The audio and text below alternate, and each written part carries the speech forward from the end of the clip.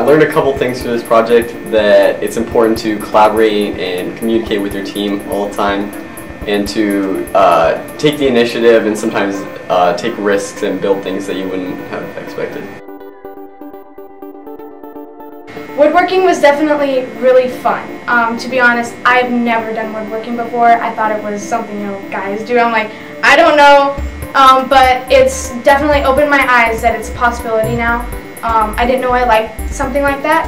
Um, I thought it was hard, but it's actually not. When you have an instructor there um, telling you what to do, it's really not like it's really not hard. It's fun.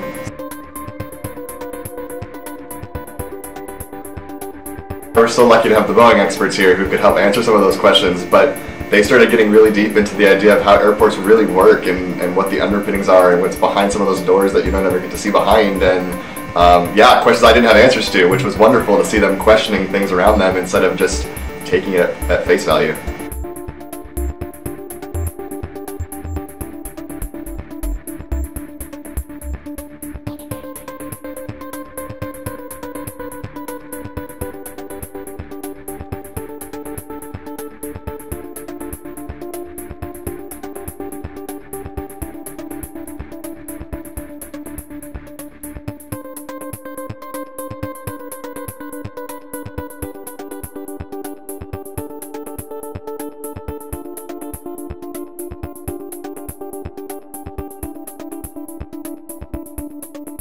I would encourage anybody who has an opportunity to participate to participate. One, just the ability to learn how to use some of this equipment and get the chance to work in a wood shop and with laser cutters and with 3D printers.